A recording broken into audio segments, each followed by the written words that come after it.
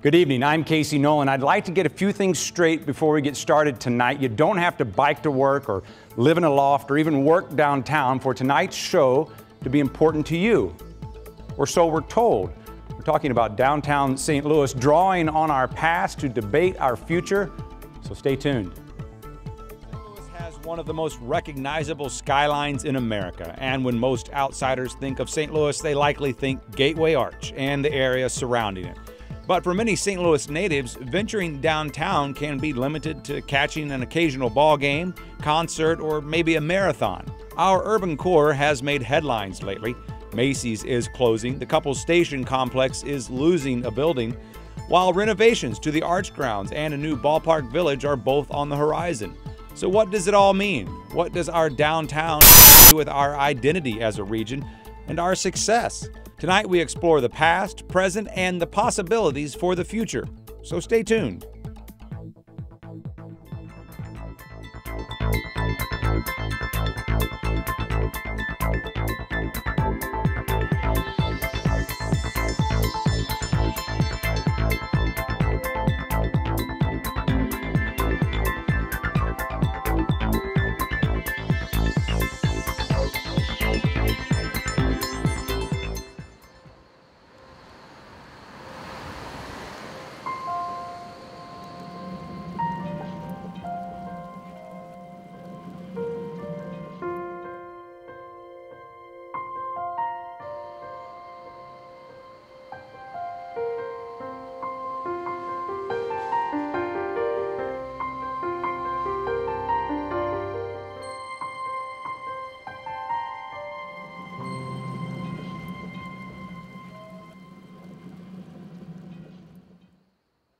Sixth and Olive, we were just looking at there. Uh, a man at the table who I'm sure recognizes those photos. Michael Allen joining us at our first table, the director and architectural historian with the Preservation Research Office. Also, Frank DeGrath from Count on Downtown, a business consultant by day, blogger by night, I guess. And from the St. Louis Beacon, reporting extensively on this topic that we're talking about tonight, Jason Rosenbaum. All of you, don't go anywhere. If you would, before we start the conversation tonight, we're first going to take a look back, as only Jim Kirchherr can, at the downtown past. There's never really been a time when downtown wasn't changing, growing or shrinking, things moving in, things moving out, things going up, and things coming down. Today, the talk's about the fate of the Cupples 7 building and the fact that it will likely be torn down instead of being turned into residential or commercial use. There used to be 20 buildings here built along the rail yards as warehouses, and the fact that any of them survived from the 19th century into the 21st, well, that's a story in itself. But it's really the upcoming shuttering of Macy's, Famous-Barr's old flagship store, that has people talking about the end of an era for downtown. But even that era was fading 20 years ago when longtime St. Louis residents reminisced about what downtown used to be. Going downtown was a, that was Saturday. Saturday you went downtown. You might not have any money, but you went, you had enough of bus fare, you went downtown. It was just amazing. We went downtown to shop, of course. Malls were unknown. Downtown was very crowded by University City standards.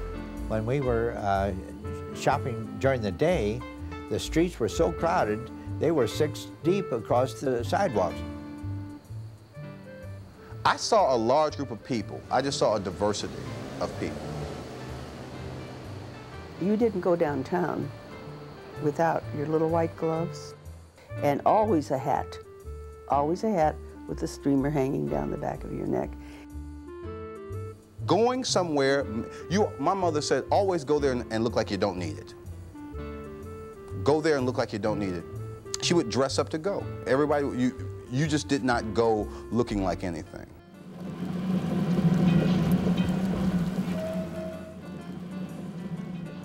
In recent years, and I guess at this point I mean a generation or more, people for the most part haven't been coming downtown for big shopping trips, grab a bite to eat, see a blockbuster movie. We do that at malls now. Suburbs took a lot of jobs from downtown as well. But what people have been coming downtown for is baseball at Busch Stadium, either this one or the old one that was next door. And there was a time when that idea, downtown baseball, it was a game changer. And St. Louis wasn't the only city in the 60s to move its ballpark from a neighborhood, the North Side in our case, to downtown. And here it came along with an arch, a new convention center, and yes, residential development. Not lofts in old buildings, but new apartments where old buildings had been torn down. There have always been plans for downtown. Some of them have worked, some of them not so much, and some of them never got much further than the drawing board. But through the years, a lot of people have agreed that what downtown is and what it isn't is an important part of what St. Louis is and isn't. For Stay Tuned, I'm Jim Kirchherr. So tonight we're trying to take the approach of past, present, future, just so you know where we're going. We're going to start with the past with the gentlemen at the table now, all of which I know have a lot to say about the present and the future. So, but we, we, we, appreciate you uh, filling the role of past. So what we, we saw some of it there, we heard some of it there. What historically was the role of downtown? How has it changed? Oh, well, historically it wasn't downtown. I mean, that's one thing we have to start with back in the origin of the city throughout most of the 19th century, this was basically the city. This was the center of the city, and there was a microcosm of everything the commercial activity, industry, residential, streets like Lucas Place, where the private places were, Washington and St. Louis universities. So as the city grew, all those activities sort of morphed outward and spread with the growth rings of the city, leaving downtown as sort of the central business district by the early 20th century. But I would have to say, like, uh, downtown has not been the downtown uh, that we think of when we think of center of offices and commerce. Oh, since the advent of the streetcar. Yeah, it's, it's changed, especially in the last 20 years, and I'm sure Frank will jump on this because he is living proof of that. Right. But instead of just being strictly a place where people go to work every day, it has become more residential. And that has had a reciprocal effect on the types of businesses that are downtown. For example, the fact that the population has increased so much is why there's demand enough for culinaria or a movie theater or boutique restaurants.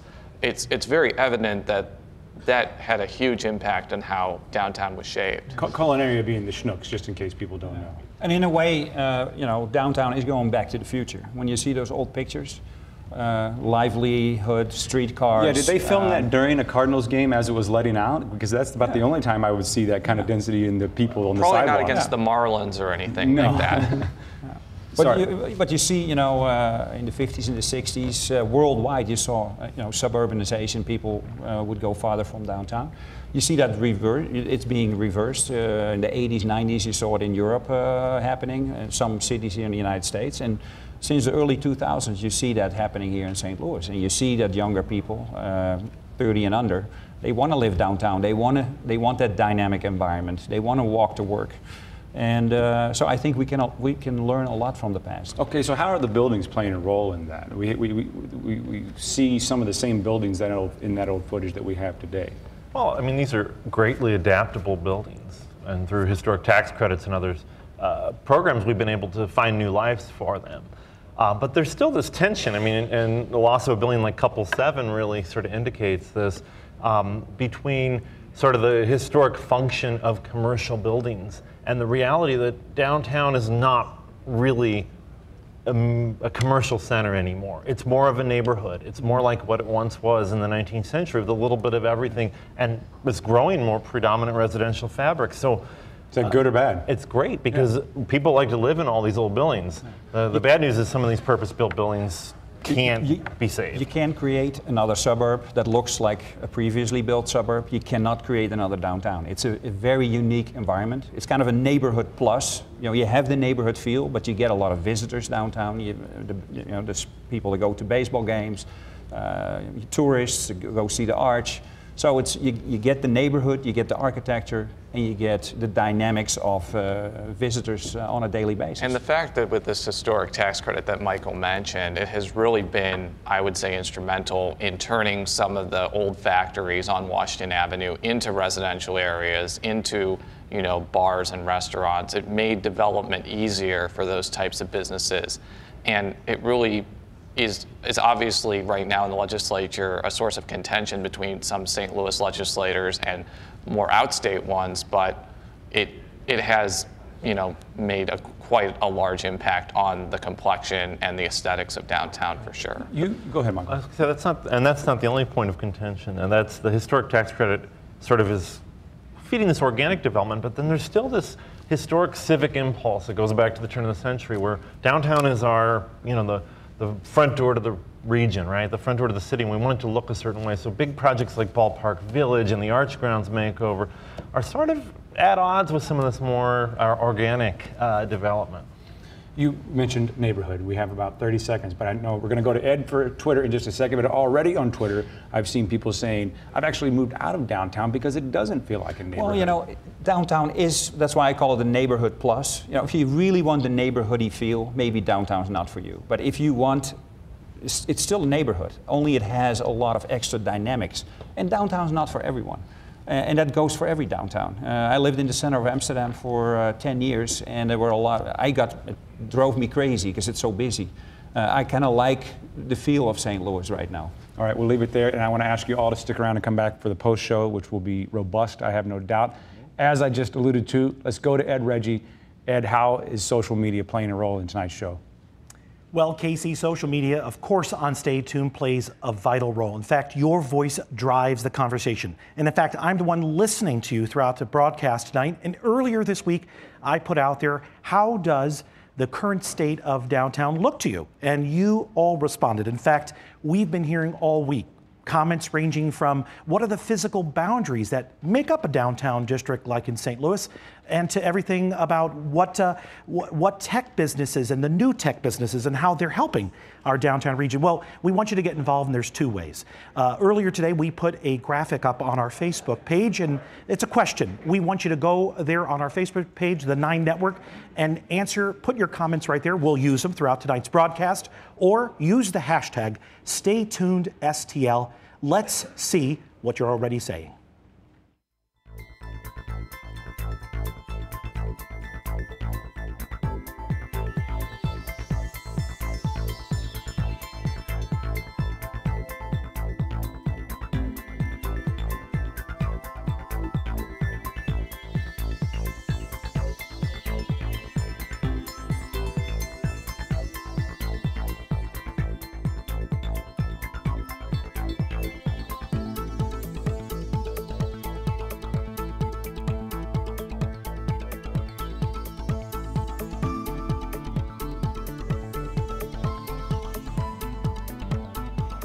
Okay, here at our next table, first uh, back for the second week in a row, I believe, uh, John Warren, Coldwell banker, Richard Ellis, commercial real estate broker. CBRE. CBRE, fine. Yeah. Okay. Uh, also from Next STL, if you uh, if you're interested in tonight's show and you don't know X, Next STL, you will after tonight. This is Alex Ihnen, Medora Kelly, policy analyst with East West Gateway, and Tim Bryant with the Post Dispatch, writes on all things development.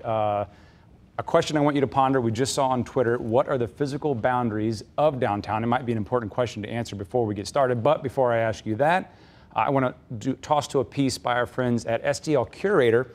Uh, they're going to show us the man behind the MX, which is a development downtown.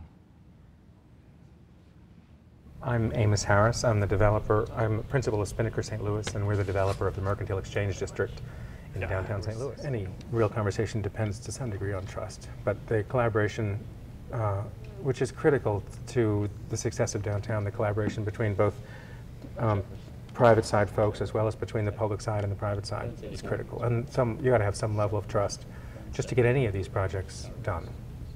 How have you managed to facilitate that trust? Uh, we try to do what we promise. Yeah. So, you know, not promise what we can't deliver.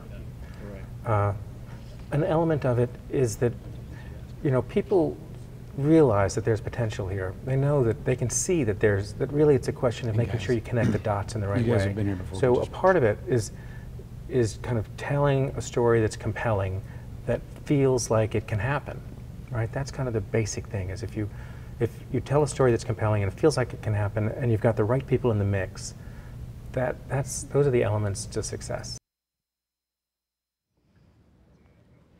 Okay, thanks again to STL Curator. Uh, look at the uh, MX behind the scenes there. So, okay, uh, what are the boundaries of downtown? We should probably define that, what we're talking about here. Or do different people define it differently? They do. Um, I spoke a few weeks ago with a developer in the Grand Center Midtown area who was a proponent of the proposed streetcar from wherever downtown out even to the Central West End. And he said if that streetcar runs to his developments or other developments in the Midtown area, his market there immediately picks up the 6,000 hotel rooms downtown, and he considers that part of downtown. So, uh, but for tonight's conversation, a little and bit I, closer. And I think if people aren't familiar with downtown, you get you literally get people who think the Central West End is downtown. You know, they tell you they went downtown for dinner, and you ask where, and oh, the Central West End, right? Um, but I think in a practical sense, it's, it's, what, it's what you can walk to easily. You're not going to walk past 40 to the south. You're not going to go into the residential neighborhoods to the north. You're not going to go west of maybe Jefferson. So, Okay. so it's really a compact area. Okay, so for the this, this is the, the the downtown present. I don't believe there's a downtown present ghost in this, but that, that's uh, that's another story. But we're in the present section of tonight's show. Uh, there's a lot of uh, meat on this bone. I kind of want to just get out of the way, but what, I'll just throw some things out there. Uh, SLU Law.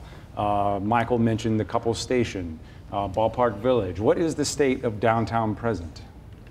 I think it's gotten nothing but stronger over the last, obviously, 10 years. We're certainly seeing more creative firms looking around downtown. Um, Anders Minkler uh, moving downtown to 800 Market. It's a positive story from downtown Clayton. Um, and then there's also uh, just a number of other marketing, creative, professional firms as well that have moved back downtown. Certainly, it's had more has more residents now than ever before, but uh, it's it's no longer the center, certainly not the center of retail, and it's lost. Other than sporting events, there's really not any entertainment downtown. The movie theaters have gone, the theaters have gone, uh, but you know, still you have thousands of people who've never lived there before, and that that's likely to increase. We just saw a really nice movie theater in that piece at the MX. Is that Well, not- okay, there's one nice movie theater. And is that Great significant? theaters, Does- technically. It's I, I think it reflects the fact it's it's a it's a neighborhood again. You know, I mean, the Central West End has a theater. You know, a lot of the South City neighborhoods had theaters. Most of those are gone, but but the difference is it's a neighborhood. You have people you have people living there, and the challenge is what is what is downtown, whether it's St. Louis or other places. What's it going to be, and who does it serve? And we're kind of at this point where it's a neighborhood. There are thousands of people living in downtown proper. But then it's also, you know, their streets are closed seemingly every other weekend for some big festival. So it's the regional festival center, it's the arch, it's the sports center, it's the professional sports area of our region, but it's also a neighborhood. And I think there's some, some um, I don't know, not real friction, but there's some real, you know, debate about which way we're going and what downtown looks like 20 years And, and. Alex makes the good point that, that the core of downtown is the walkable area, but in other cities like Chicago, Boston, um, Toronto, New York, that where public transit also is frequent and available and perceived as safe, that's where people travel day and night. And when people travel, they spend money, and that brings up everything economically. Medora, are you new to St. Louis? I am new. So give us your impression. What is, what is, your, what is your impression of our downtown? Well, I only started working downtown about three months ago, and I grew up in Milwaukee. Um, so the few times that I had been to St. Louis before, the downtown had been kind of dead and vacant. I've been really enjoying getting to know downtown, working there, and seeing how much it's utilized during the day, and uh, all the great parks and the arch grounds. During the day. Mhm. That's, that's key. Am I, is I think we, we were talking just before that I, I spent a lot of time in Boston for work in, over the last few years, and there are large parts of downtown Boston that close at 5:30. You know, the, the Starbucks is closed, no one's on the street, it's vacant, and people kind of move to the Back Bay area in South Boston. Well, that happens here too. It's just that our neighborhoods aren't really connected. So downtown may slow down if there's not an event, but people go to Soulard, people go to Lafayette Square, people go to the Central West End, Midtown now. So I don't know that. I think there's a perception sometimes that our downtown is is too quiet. And I think that, that we just kind of suffer from the fact that maybe a lot of us haven't spent time in other downtowns, you know, and whether it's regional comparisons like a Cincinnati or Indianapolis, um, we're not, I don't know that we're that much better or worse off. And then even the larger cities, I mean, there, there's, no, there's nothing that says downtown is lively Well, I all the time. I think the biggest game changer for downtown is actually having people living there as well. In the past, you know, we've had uh, Union Station, St. Louis Center. Unfortunately, those projects ultimately failed. But now with people living downtown, the retail has followed, and ultimately, I think more and more creative office users will come back downtown. I was actually talking with a number of office brokers the other day, and if you're trying to find a Class A large vacant space downtown, there really aren't many options. Now, as you go down into the B and C spaces, there are more, but for a Class A, a Met Square, a Peabody building, there really aren't that many. what's holding spots. downtown back? That's what they want to know on Twitter. They're- Ed's getting that to us. What's the, uh, what's the challenge? What's, what's the, I think the perception of, of crime. I think is the biggest challenge to downtown. I don't know if you would agree with Yeah, that. I think probably so, but I, I, I would also, in a sense, challenge the fact that there's anything holding downtown back. It's, it's a un- incredible place. It's a fabulous place. You know, we have all these amenities downtown. It's used all the time. Peabody Peabody Opera House is full. We sell out hockey games. We sell out baseball games. We almost sell out football games. Um, I, I'm not sure there's anything wrong with downtown. I think downtowns everywhere are changing drastically, and we're in the middle of that. Um, we were talking earlier too, and I think you're saying, you know, Denver doesn't have a downtown shopping district. Um, Houston lost their downtown Macy's. You know, we're not immune to those things too, and so I'm not so sure that anything that's happening downtown here is a symptom of any And quote something problem. going on right now. A couple of interesting reports out this week, and John, one of them, your shop, the uh, the, the St. Louis office market view, and CBRE found that the downtown office market is eh, it's kind of stagnant. It's it's not really going up or down. But Colliers International said, hey, in the last year or this year so far, that downtown has picked up a lot of occupancy in uh, office space. That rents are up somewhat, and uh, in contrast, that the overall uh, market occupancy or office occupancy in Clayton has dropped some. The big difference is, and John knows this, that that office lease rates are so much higher in Clayton than they are in downtown. That certainly would be a drawback Well, to the- developing let me stop you. John. We got to cut it off there. Go back to social media real quick because I know we've got a lot more to talk about, but we want to make sure we keep you engaged online as well.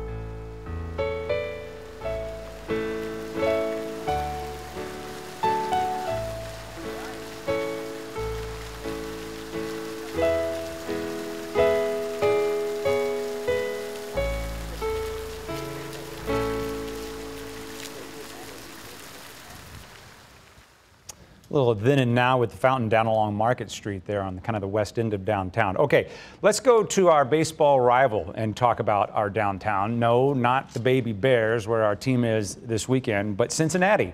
Uh, joining us via Google Hangout from Cincinnati, David Ginsburg with Downtown Cincinnati Inc. David, can you hear me? Because I can't see you, but I'm trusting that you can hear me. I can hear you fine, Casey. Perfect. Thank you. Okay, so if you, you, you can hear me, then I trust you've heard the conversation so far. I'm curious, anything uh, resonating, anything familiar? These are so many of the same conversations we have here in Cincinnati.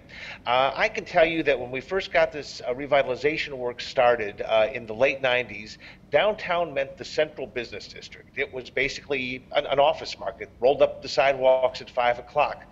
Uh, safety was the big problem. Uh, the perception of safety was a big problem. Um, whether we would have residential or retail or office, you know, what was going to lead the revitalization? These were all the questions that were, we were asking.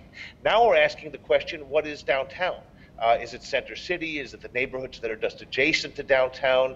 Uh, we are a mixed use, uh, retail, uh, Convention and Visitors Bureau uh, is very healthy. Uh, the office market continues to, to strengthen. Residential, a tremendous uh, effort. Uh, the price of entry for all this, of course, has been safe and clean, and that's where we spend a good deal of our uh, efforts here at Downtown Cincinnati Incorporated. And now, instead of a Monday through Friday, 9 to 5 downtown, we're really looking at a seven day a week, 24 hour a day downtown. Uh, I'm down here tonight. Uh, of course, it's an hour later. The streets are teeming with people. There's a performing arts center across the street. Uh, that's busy. There at Fountain Square. There's uh, salsa dancing out on the square. Lots of people out there. So uh, it's it, it's a mixed use uh, mixed use downtown. So, congratulations. It sounds like you solved all of your problems and you have the perfect downtown. Uh, you know, we had some very serious problems, and we've been very fortunate that the business community uh, and the city uh, and leadership uh, have really lined up and worked very, very hard in a very, very coordinated way for a very, very long time. And for years, you didn't see too much progress, especially in terms of perceptions. You know, we knew downtown was getting better, but we weren't seeing uh, the perceptions changing. But it's a little bit of a, a flywheel type of uh, effort that uh, as it begins to just keep moving, uh, all of a sudden, you know, every day there's some kind of a new opening, there's a new uh, a new project getting going. There's a we, we, have many of our Class B office buildings now coming back as residential. Uh, the riverfront is developing very very nicely over the Rhine. The neighborhood just north of the Central Business District is uh, is developing, and that's thanks to the work uh, we have a catalytic economic development agency, the Cincinnati Center City Development Corporation, has been very effective, especially in the over the Rhine area. Uh, we've had property owners, corporations putting a lot of resources into it. Uh, police uh, are our number one partner. So it's taken a lot of people in a coordinated effort. Okay, so as Alex just said, there's uh, he he challenged the notion that there's anything holding us back or that there's uh, anything that we need to remove as a roadblock in downtown. But for the sake of this discussion, advise us. Can you be our, our, our coach here? What would you say uh, you would advise St. Louis? And maybe what is your perception? Of the St. Louis downtown? I, I, think the toughest thing, uh, uh, you know, our perception of the, St., of the St. Louis downtown is that it must be very similar to what Cincinnati is. It's a river city, a big baseball town, r- roughly the same type of weather and latitude. So uh, we see it as being very similar in many ways to, uh, to Cincinnati, uh, kind of a middle-sized American city. Uh, certainly, uh, we kind of set up something, a uh, hierarchy of needs, where safe and clean is at the base of it. That the price of entry to any development is that people feel comfortable with the with the development. Uh, we have to tell the story of our downtown, of our center city, and get everybody on the same page doing that. So we've benchmarked a number of other cities to do that. And I think the advice that I would give to any city, uh, you know, is number one, be be yourself. Every city is unique different, uh, has its own set of issues. But uh, once you get focused on a strategy, uh, it's a long-term commitment. Uh, you may have naysayers, you may have critics, you may sometimes get frustrated at the, at the, pace of progress. But if you leave it a little bit better every day than when you came in, uh, I think you'll be amazed, and in a very short time, things begin to move very quickly. Talk a little bit about how you perceived yourself uh, how Cincinnati perceived itself uh, in the past and maybe now how that's changed. We've talked here on the show before about just kind of the narrative uh, that we talk about, that we tell ourselves, kind of our internal monologue as a city here in St. Louis. You, sure. do, you, do, you, do you deal with those issues? One, one of the things that Cincinnati has learned to do much better, and our Chamber of Commerce has played a major role in this, is benchmarking other cities. So we've been to places like Charlotte, uh, I've been to Milwaukee, we've been to Boston, uh, we're going to Austin this year, went to Denver. And one of the things that we're always amazed with is that people seem to be on the same page in many of these cities, and they do have a narrative about what makes their city special, uh, what makes it great. And so we've developed, a, it's called the Story Project. Again, it's something we're doing through our regional chamber of commerce here. Uh, we're working with companies like Procter & Gamble uh, and Citizens. We've looked at what are sort of unique about Cincinnati and trying to get everyone on the same page to sort of tell elements of the same story. A good example uh, is the concept of life-size heroes. Uh, Cincinnati, and I'd imagine St. Louis is probably very similar in this respect, uh, is the kind of city where you can walk around downtown and find several people that you might otherwise just read about in the newspapers or see on television, and they're approachable, that you can talk to them. Yeah. Uh, people like the owner of the Reds or right. Oscar Robertson. Uh, and uh, that's uh, life-size heroes is unique. David, I'm sorry, I, that's good. I have to cut you off there, though, because we packed the show with good stuff just like yourself. okay, Thank you for your time. One thing you're mentioning on Twitter we should point out is that uh, in Cincinnati, both sides of the river are developed. Uh, in St. Louis, we have one side of the river that's clearly more developed than the other. David Ginsburg, Downtown Cincinnati Incorporated, thank you very much. Now, before we talk about the future of downtown, Anne Marie Berger is going to show us what's underneath downtown.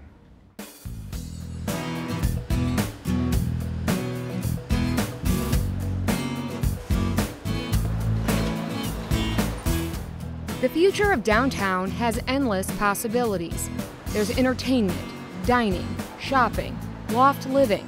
And if David Sandel has it his way, downtown St. Louis will become a gigabit city. It's a, uh, a, city which makes use of gigabit fiber to provide very high-speed connectivity and economic development incentives to the future growth of a city. Access to high speed is the next round of advancement for the Internet. The general thinking is by removing the speed barrier, more innovations will emerge, which will create more businesses and jobs, resulting in economic growth. And downtown St. Louis is the perfect spot for this to happen. During the late 1990s, we had the internet boom and a development boom here on Washington Avenue. and some smart people were thinking ahead and laid high speed fiber during Washington Avenue's reconstruction.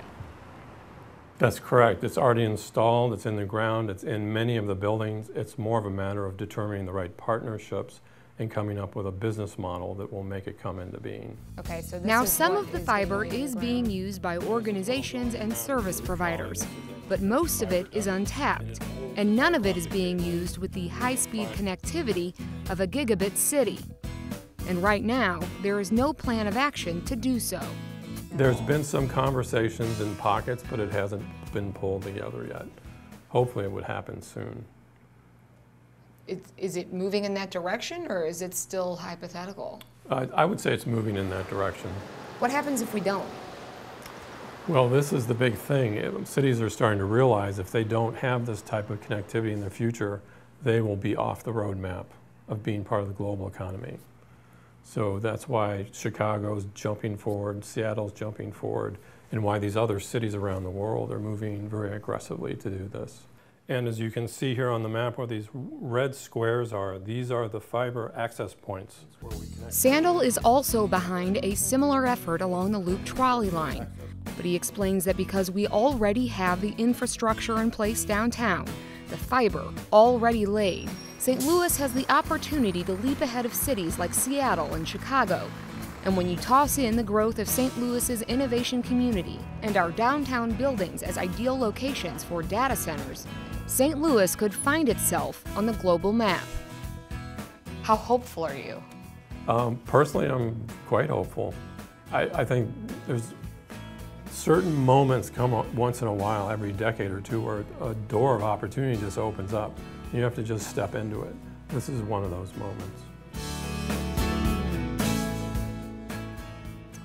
Uh, excellent job on Twitter. We've got a lot to talk about there. We'll help, uh, Ed will help us continue to curate that. Uh, okay, this is uh, downtown future, uh, if you will. Uh, Jay Swoboda, um, the manager of the MX district, sorry, Kent in the booth, I went out of order, I apologize. Carl Gunther from University of Missouri St. Louis Public Policy Research Center. Uh, Missy Kelley from the Partnership for Downtown St. Louis and Patrick Brown from the mayor's office, legislative liaison, and um, just all things cool with Mayor Slay's office. It's kind of you. Other, other than the mayor himself. He's the coolest. I agree. I'm not going to take anything away from him on that. He's uh, okay. So let's just jump in and we'll see where this goes. Much like the future, where do you see St. Louis 10, 15, 20, maybe beyond? Well, my vision for the future of downtown St. Louis is that the next Jack Dorsey chooses to keep her company here in St. Louis in downtown because the talent is here and the people that want to work for her company live here. And we just heard about some Google, or I mean, some gigabit fiber that might help that as there well. There you go. yeah, Vision. The, yeah, the you know, I mean, there, that a company like that's going to want to live downtown because there's energy downtown. You know, it's about creating a sense of place, and I think you know there's examples of it sprinkled throughout, not just downtown, but through our, our city. And you know, we are part of a bigger city, and so if we just think about the future of downtown without thinking about the success of neighborhoods that are successful, you know, Central West End, Cherokee, South Grand, Old North, you know. Uh, I think we're missing out. You know, but downtown we have to have a density. We need 20,000 people in a square mile to create a 24-hour city. And that 24-hour city is going to excite people about staying downtown. They're not going to feel unsafe because there's people on the street. There's strollers. You know, there's there's plantings. There's urban gardens. These are the things that people are excited about. But it takes people and density to, to and that's that. there now. I mean, we have 14,000 people living downtown. That's double since 2000. And probably the biggest surprise to me when I started working downtown was that was seeing baby strollers being pushed around throughout the day. I just had a different perception of what it was, and I think that that's a pretty common misperception across the region. I've seen a lot of baby strollers. I haven't seen a lot of uh, grade school through high school kids, though. That's true. Um, this August, though, there is a preparatory academy, academy opening um, that's going to be K through fifth grade. It'll be K through second in the first year, and then every year it'll add to fifth grade. So we're starting to build that infrastructure um, for sustainability, so that so that these people, these young people that we do have living down there, um, you know, they have they see downtown as an option as they grow in their lives and their families. Um, Education is definitely yeah. a headwind we face. Ten years ago, people were moving to Wentzville Now they're moving to Kirkwood, Glendale, University City, you know, and, and I think 10 years from now, they're going to be moving to downtown or because they don't want to, you know, it's more attractive. There's a better lifestyle. So, you know, we're progressing, we're moving ahead. That's really one thing that the mayor is cognizant of. Um, you know, he unleashed the sustainability plan on the city a few months back. It's a big plan. It's got a lot of strategies in it. One of which is to open 15 new charter schools citywide. I mean, we're not saying which neighborhood and where they should go, or even really what grades they should be. I mean, we realize there's an array of, of needs, you know, and so, you know, we want to open up these schools and get downtown to be great. You know, yeah. absolutely. One thing I want to underscore is just the importance of achieving this vision. One thing that research shows us is that central cities um, if there's a large inequality in the economic dynamism and power of central cities versus their suburbs, the region at large has slower growth on average than places where there is more economic equality between the central city and its suburbs. And so it's important to achieve this vision, I think. Um, so I started the show by yeah. saying if you don't come downtown, this is still important to you. You're saying it is. It is, yeah, it's important. And then as if we do a good job in this, it's important to think about how we take that growth and help it bleed into the neighborhoods that surround uh, downtown. Because, like you said, I mean, we've got incredible number of fascinating, rich history, quality neighborhoods, um, and we need to keep growing the number of those if we want to have a vibrant. Let's go back up for just one second to Cincinnati. What about the other side of our river? Is that important to our downtown? We, we are, or is our river bigger than the than, than in Cincinnati, and, and it's just physically harder to cross? Our, our neighbors are absolutely important because I mean, you know, a, lot, a large portion of them work in downtown St. Louis, and vice versa. Um, so, you know, what affects us affects them, and what affects them affects us. So we need to reach across the river. I mean, there's even nationally, there's a big Mississippi River focus right now, which again the mayor is a part of, uh, and looking at ways to help river cities just like ours activate their piece.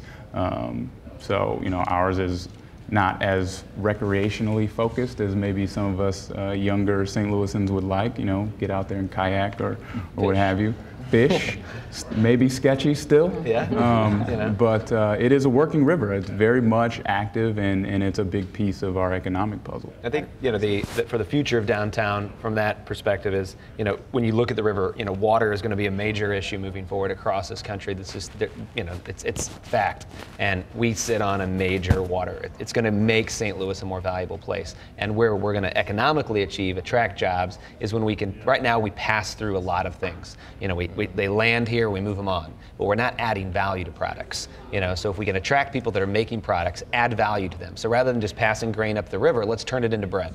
You know, and so that's where the opportunity comes, and where these other cities that have been successful is they create these, you know, multimodal, you know, transportation hubs, uh, warehouses that can store the stuff before it can turn into uh, you know, something that's more valuable, attract jobs here. Yeah, these aren't necessarily the high-paying jobs that everybody chases after, but we have to realize, you know, kind of where we are in the country and where we are right now, and just be really realistic about, you know, what people are willing to pay for, you know, for rent. You know, we've got 90%, you know, plus occupancy of apartments downtown. We're pushing a dollar thirty, dollar thirty-five, you know, in rents at some of the nicer, you know, apartments downtown. But we still have people that need to live at four hundred dollars a month. You know, so we have this really diverse economic, and it just makes a really big challenge to figure out where do we put the priorities as we kind of chart a path forward. We have 10 seconds. Did any of you live downtown? I'm curious. I work downtown. Work downtown. Work downtown. Two and a half miles from downtown. Feels like a living, a living downtown. Spend a lot of your lives downtown. Sure. Yes. Very good. Thank you all for joining us. Again, please don't go anywhere. We've got more to talk about, especially on the post show. Thank you very much. Ed, what's going on? We need your help. Well, Casey, I actually live downtown for my 10th year now going on, so I just want to say, put that in there. Well, listen, I want to say thank you to all those driving the conversation. That's right. You're, you make the, the conversation move, and you have been doing a great job. Uh, you know, we've heard everything on Twitter from a region of rivers means a, a region of bridges. We also heard high speed means high tech jobs. Uh, and another thing I like the Central Library, the brand new Central Library. What a big asset for the downtown region. But you know, some other comments like young people living downtown Will they remain there after graduation? Well, keep the conversation going. Of course, we have an after show. We want you to log on to our website, 9net.org slash stay tuned. Join us after the broadcast uh, and keep the conversation going using the hashtag stay tuned STL throughout the week. Uh, and please also visit our brand new website and let's see what you're continuing to say.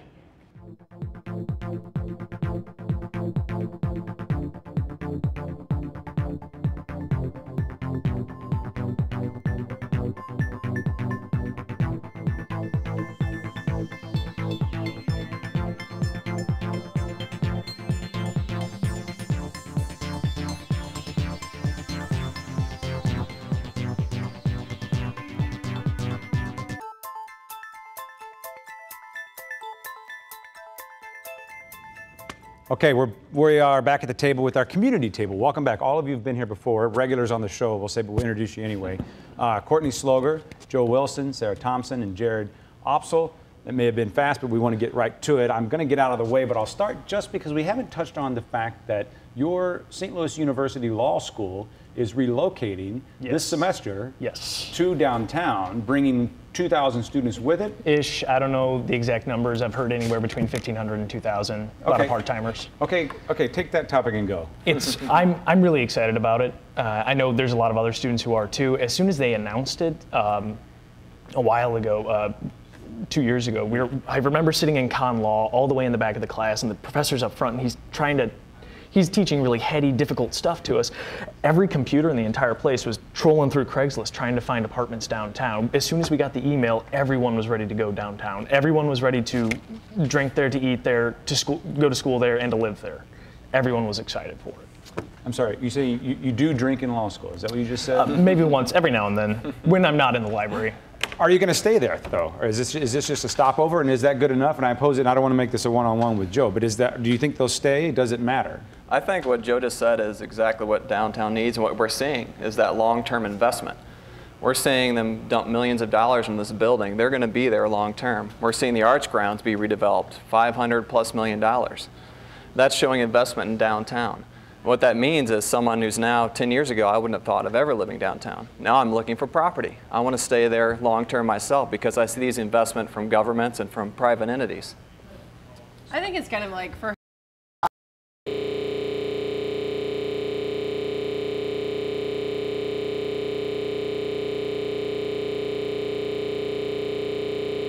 have to kind of that we have to be discussing. I think um, some people also on Twitter brought some interesting issues. I always hate bringing this up, but I mean the equality issue. I mean we're talking about development, we're talking about all these things, but you do have to. Let's be honest. I mean St. Louis's history in terms of the race relations and economic inequality. I mean, those things are you scratch below the surface, and that is a lot why, at the end of the day, you could throw $100 million into historic preservation, beautiful buildings, parks, green space, and if you still have issues with separation, jobs, crime, and I hate bringing this topic always back, coming back to it, but I do think it lives right there beneath uh, the surface. I mean, it really does. Well, it crossed my mind when in Jim's package uh, earlier in the show in, in the 1960s, and it was just like this utopia of downtown. Well, not really. I mean, not everybody came mean- downtown, if you will, or, Yeah, or well, and they didn't go to the same places. I think that's why it's important to remember that downtown is a neighborhood. Mm-hmm. And I'm glad that the conversation wasn't simply about just development or just the negatives.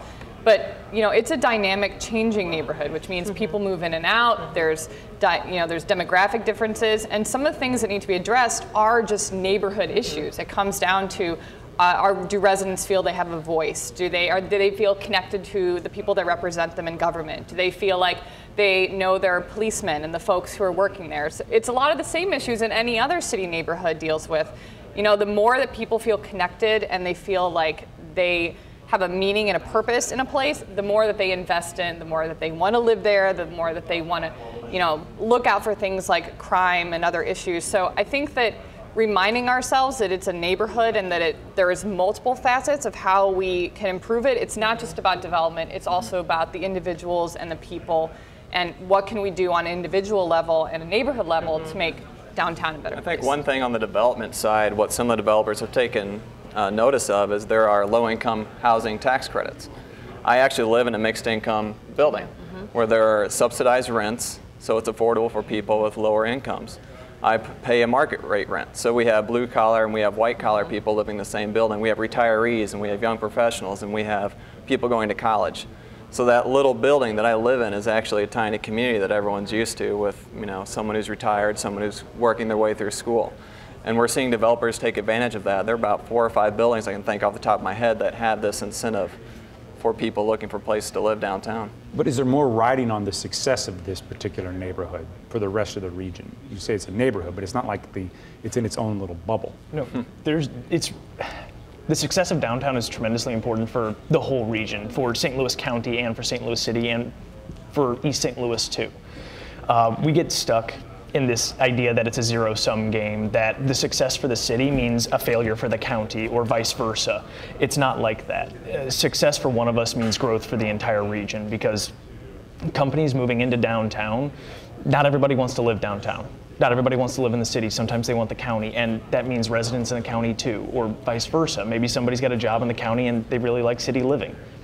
It's it's it can be success for all of us. We have to stop believing that success for one means failure for the other. Well, it's important to remember that a, the downtown for most cities is still the heartbeat of the city.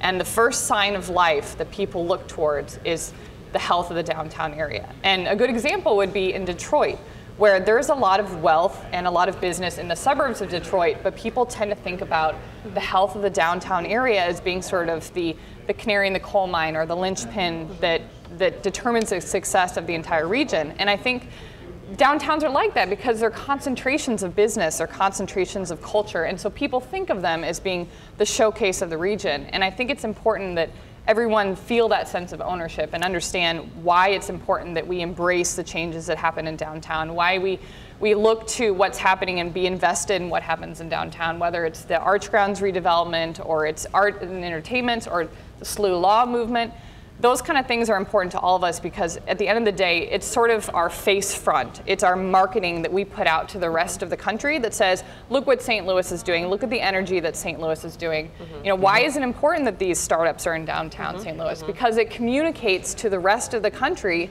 that St. Louis is, is moving forward, that we're moving, you know, we're moving past some of our challenges and we're looking towards the future. And that's not to say that we don't address, you know, issues. There are a lot of, you know, there are a lot of problems to address but all communities have problems they have to address. And I think it's important that we sort of realize that the idea of be yourself that the mayor from Cincinnati said is, I think, hugely important because that's really, I think, how that we can embrace St. Louis and especially in the downtown area. Yeah, and you said uh, someone even on Twitter was saying, you know, don't underestimate the power of, uh, of marketing. And so, yeah, I think if you put forth an idea, but at the same time, we have a lot to battle against because, my goodness, it's like how many times nationally is it like St. Louis crime, safety? Everyone's, you know, that's kind of the comment still coming up. So it's hard to talk about one issue again without really realistically like addressing other problems. I mean, you know, and being because it is. It's like we I, we have a beautiful downtown. I love our architecture. I tell people all the time, and um, huge fan of Michael Allen. Shout out, like just love the history of St. Louis, learning about it, sharing it with other people. But you cannot tell other people in this entire region how great it is when all they hear is you know crime and shootings and someone was robbed and cannot convince them of it. So I do think we have to, in this topic, discuss those issues too. We can be the butt of a joke for the nation for whatever top mm-hmm. 10 worst of list that somebody comes out with. We can the people who really are going to listen to some of those things, like that, that we're one of the top 10 most sinful cities in America or something like that, yeah. if they're really swayed by that, I, I, the top 10 sinful cities, but crime people are swayed sh- by. Sure, but then they should also do a little more digging and know that our crime stats are wildly. Yeah. Uh, they're, again, they're, not. That's the issue of perception. perception. I mean, yeah. think of how Times Square used to be perceived mm-hmm. and the mm-hmm. changes that happened. A lot of that was perception over time. Mm-hmm. You know, that's why leadership and things like that are so important because you need people coming out there and saying, you know, we're going to put this forward. We're going to put this right. sort of confidence and hope forward and really push that line because over time, that's how perception changes. Mm-hmm. That's how culture changes. You know, it's not just about reality isn't the only part of the key. Perception is an important part of changing the reality. Mm-hmm. Absolutely. Okay, we'll leave it there. I think that was a good spot. Thank you all very much. Don't go anywhere. Uh, let's go back to social media, though, to see what you're saying there.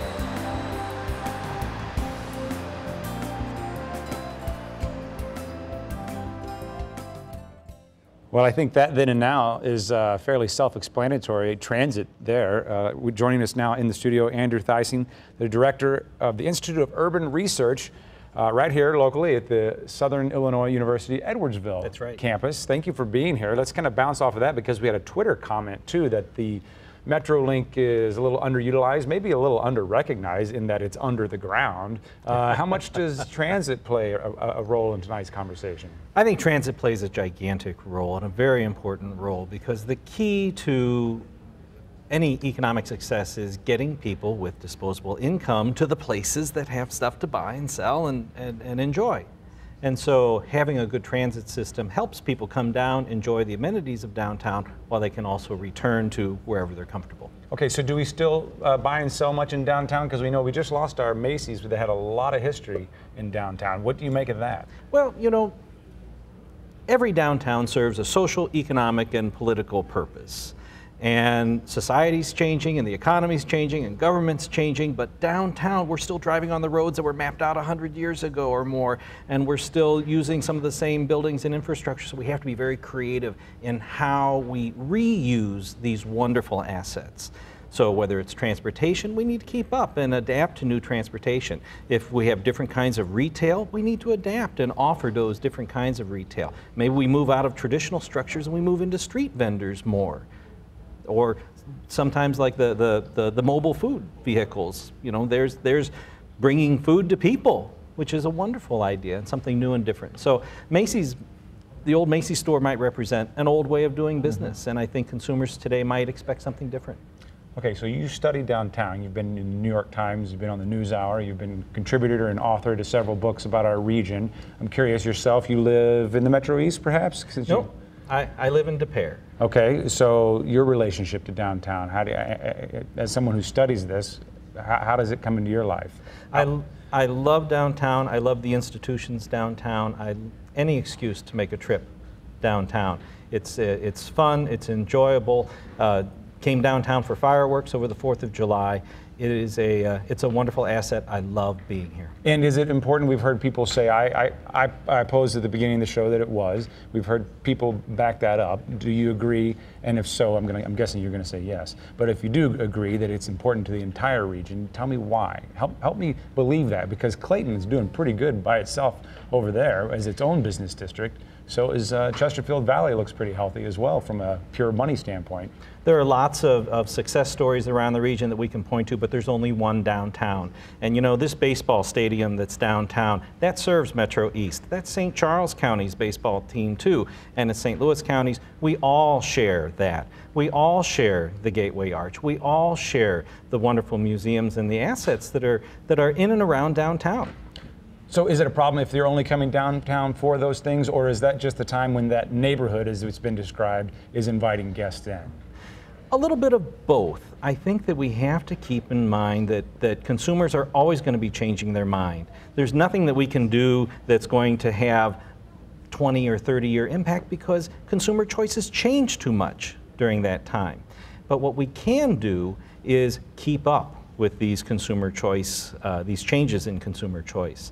And what I really think we could do that would be very smart is to be more adaptable. Someone talked about the importance of leadership, and it does come down to leadership. Good leadership that is, that is nimble and that, and, and that has the resources to invest to, to keep up with change. Successful cities keep up with change. Okay, so are we nimble enough? And can you give me an example of what you mean by that?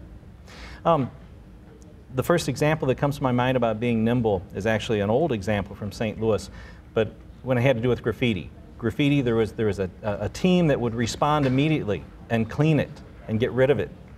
And that's the kind of fast response. I mean, today we're in the we're in the social media age, and it would be nice every time there's a there's some kind of a negative report coming out about St. Louis it would sure be nice if we could respond to it immediately and stay on top of that and put the positive side of downtown out there or the positive side of St. Louis.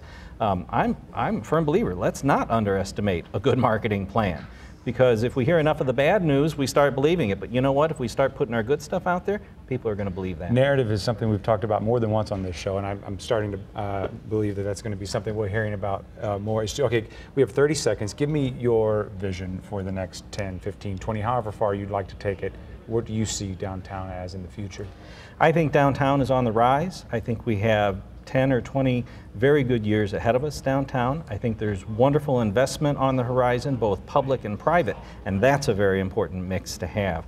I think that St. Louis is poised to have something of national or even global significance again. I think back to the Papal Visit or, or the Olympic Festival. I think that's in our future. Andrew Theising, thank you so much for your time. We are out of time. We appreciate your insight. Thank you very much. Good night.